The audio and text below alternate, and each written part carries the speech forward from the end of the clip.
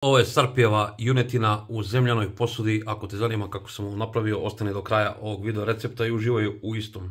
Evo šta nam je potrebno za današnji recept. Ovdje imamo pola kilograma junećeg buta. Znači vi koristite meso koje želite, možete koristiti piletinu, čuretinu, teletinu, svinjetinu. Imamo ovako jednu veću papriku koju sam već isekao i oprao. Imamo jednu tikvicu, Imamo dole malo krompira i malo šargrepe. Imamo ovako dve glavice, ovako srednje glavice luka. Imamo beli luk. Imamo 200 grama ovih brown šampinjona. Imamo začine, imamo lovorov list. Imamo crni biber. Imamo crvenu slatku papriku. Imamo suvi začin. Imamo peršun. E sad, Prvi put u životu ja spremam u ovoj zemljanoj posudi. Evo pogledajte. Ovo sam kupio u jednoj ruskoj radnji. E, uvoz iz Turske. Ne znam sad kolika je zapremena. Skinuo sam onu etiketu pa sam bacio. Platio sam 4 evra u dinarskoj protivrednosti oko 450 dinara. Neverovatno. Ja sam prosto morao da kupim ovu zemljanu posudu. Za ovaj novac ovo je meni bilo kao, kao da je džabe. E sad, pogledajte. Ova posuda nema glazuru. Ovo u Bosni zovu tagarice. To sam se pogledao na YouTube-u i pogledao sam kako se priprema za upotrebu. Znači ona nije glazirana. Znači ona je bukvalno kao crep, kao cigla, kao saksija. Ona mora da se pripremi, e, ne može odmah da se kupi i da se sprema. Znači to nije to. Može da se ovako za vas koji prvi put gledate ovo kao ja sam skoro to isto gledao. Ja sam ovako premazao sa svinskom mašću iznutra, iz polja i poklopac i to sam stavio u rernu na 200 stepeni sat vremena da se to lepo zapeče. I onda kažu poslije 10 upotreba da će on stvoriti neku glazuru ili zaštitu i ja sam znači to tako već odradio. Imate na YouTube da nađete glupo je bilo, sada vam pokazujem sad tutorial kad toga već ima. Ovaj, pokazat ću vam kasnije i mene će zanimati samo pranje. Koristi se isključivo sunđer i vruća ili topla voda i soda bikarbona. Nikako deterđenti, zato što ova zemljana posuda upija i mirise i masnoću i nikako ne smije da se koristi deterđent. Znači jedan ovako sunđer koristite za te stvari, a vi mi napišete odakle me gledate i kako se to u vašim zemljama zovu ovo zemljane posude. Mene ovo podsjeća na sač, tako da ću ja ovo zvati sač. Ovo je moj sač za šporet. Evo sad, ćemo da uradimo prvo što ćemo da uradimo, ima da premažemo ovu posadu iznutra, znači vi možete ili uljem ili svinskom mašću, zavisi šta koristite. Ja ću ovom prilikom koristiti svinsku mast, ostalo mi malo da potrošim ovo pa da kupim drugo, nadam se da će mi biti dovoljno. Znači ovako rukom ću da izmažem ovu posadu sa svinskom mašću sa svih strana ovako. Evo, premazao sam i poklopac. Neki to ne rade, ali ja ću da ga premažem. Neki rade, neki ne rade, ja sam premazao znači unutrašnjosti poklopac. Sada što ćemo da samo da obrišem ruke. Sada ćemo ovo meso malo da začinimo. Ovako. Stavit ću ovo meso. Pa ćemo malo da stavimo soli. Malo soli, malo bibera. Ovako s obje strane.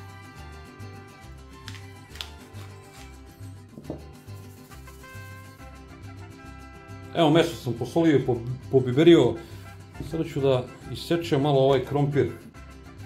I ovu šargrepu i to ću sve ovdje da začinim. Nekako mi je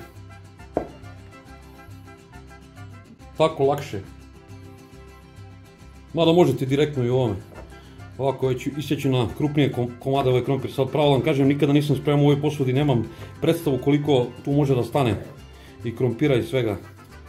Tako da nadam se da ću uspjeti sve da sabijem ovu moju malu posudu ovako isjeću na krupnije komade. Sada ću ja ovo da začinim ovako sa suvim začinom. Stavit ću malo bibera. Ovo je već šareni bibera, stavit ću i crni biber. Evo malo ću to da promašam. I sada ću to da ređem. Prvo šta ću da uradim, ubacit ću crni luk ovako na krupnije neke komade. Kao kad se sač pravi, to sam isto vidio na youtube ja nikad nisam stvarno spremao, bacit ću ovako na krupnije neke komade. Sad ću staviti malo krompir. Pa ću ubaciti meso. Pa šargarepa. Idemo redom. Biće to onako, mislim, bogato. Ovo je onako manja posuda, otprilike recimo za dvoje troje. Nije velika posuda, zato i koristim ovoliko sastojaka, ne više. Ovdje je teško kod mene naći teletinu, tako da najradije bi ubacio neku teletinu, ali nažalost ne može da se naći. Evo. Ubacit ću beli luk. Ovako u posudu. Da, zaboravio se da ubacim malo crnog bibera. Par listova lovora. Znači vi ubacite sve po želji. Evo ovako, nećemo mnogo. Sada ću da ubacim ovu tikvicu za malo da je zaboravim. Ovako i nju ću da sečem na neke ovako veće komade. Evo ću da sečem na neki manji manje komadiće. Možda sam mogu ispod taj stavit ćemo ispod ovog mesa. Ubacimo šampinjone. Bacio sam peršun, dobacimo malo slatke paprike. I to stavljajte sve po ukusu. Teško da će meni ovo sve da stane, ali dobro, prvi put pravim, tako da ne zamerite. Stavio sam ove šampinjone, ređam tikvicu. Šta stane, stane, šta da radimo? Previše sam namirnica nabavio. Za ovaj moj sud zemljani. Sipat ću malo kisele vode. Neću ni vino ni pivo. Evo ovako da pokupi ove začine. Sipat ću ovdje ovako. U kraju čisto malo. Ja ovo nikada nisam spremao. Morat ću još malo. Bojim se da ne bude i previše vode. Prilika je recimo pola šolje. Da zaklopimo ovu posudu i ide u hladnu rernu na 200 stepeni kada se zagreje rerna, onda ću vas smanjiti na 180 i planiram da ovo spremam sati 45 minuta do 2 sata maksimum, tako da vidimo se tada.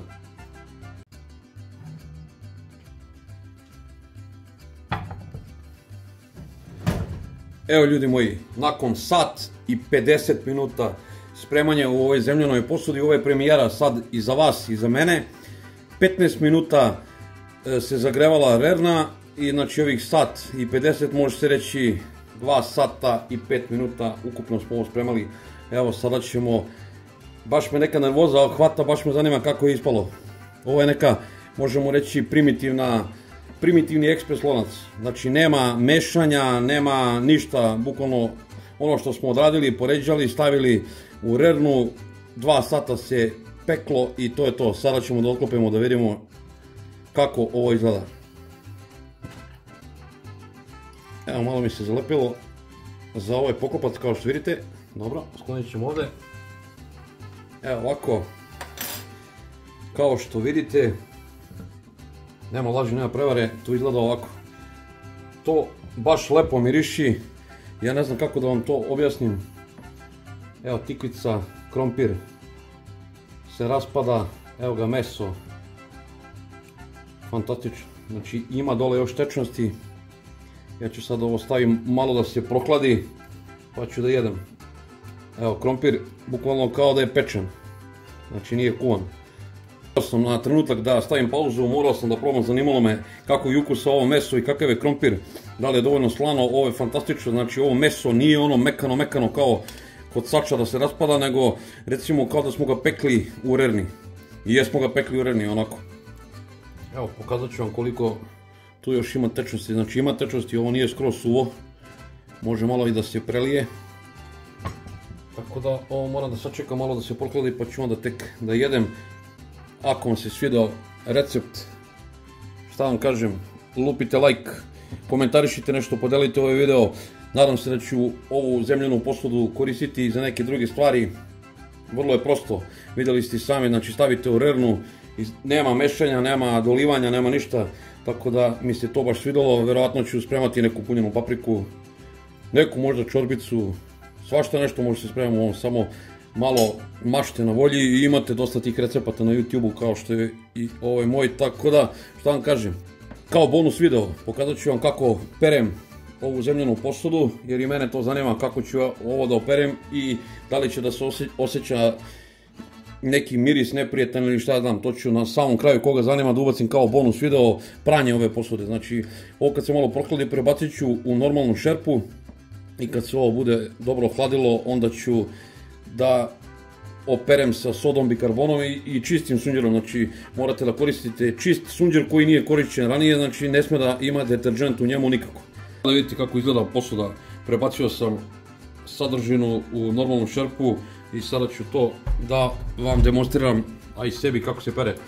Evo probat ću ovako s ovim zelenim delom da skinem ovo sa strane. Vidim da se skida.